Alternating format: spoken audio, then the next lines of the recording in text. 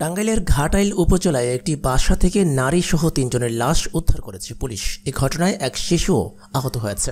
শনিবার সকালে উপজেলার দিগুল ইউনিয়নের কাশতলা খামারপাড়া এলাকার নিজ বাসা থেকে তাদের লাশ উদ্ধার করা হয়। নিহতরা হলেন উপজেলার কাশতলা গ্রামের হজরত আলীর স্ত্রী জামেলা বেগম, ছেলের বউ সুমি আক্তার ও কালিহাতি উপজেলার সাতুটিয়া গ্রামের শাহজালাল।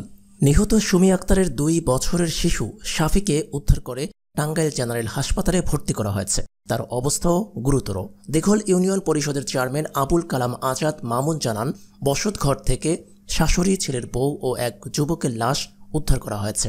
এ সময় দুই বছরের এক শিশুকেও আহত অবস্থায় উদ্ধার করা হয়। তাকে স্থানীয় হাসপাতালে পাঠানো হয়েছে। ঘাটাইল থানার ওসি আজহারুল ইসলাম সরকার জানান, উপজেলার কাশতলা এলাকার একটি বাসায় তিনজনের লাশের খবর পেয়ে ঘটনাস্থলে পৌঁছে শাশুড়ি জামেলা বেগম, ছেলের বউ সুমি ও শাহজালাল নামে এক যুবকের লাশ উদ্ধার করা হয়েছে। প্রাথমিকভাবে ধারণা করা হচ্ছে, প্রেম ঘটিত কারণে এ হত্যাকাণ্ড। তদন্ত চলছে, পরে হত্যাকাণ্ডের আসল রহস্য জানা যাবে। পরবর্তী দেশ বিদেশে ঘটে যাওয়া সব ধরনের খবরাখবরের আপডেট পেতে চ্যানেলটি সাবস্ক্রাইব করে পাশে থাকা বেল আইকনটি প্রেস করে দিয়ে আমাদের সাথেই থাকুন। আসসালামু আলাইকুম।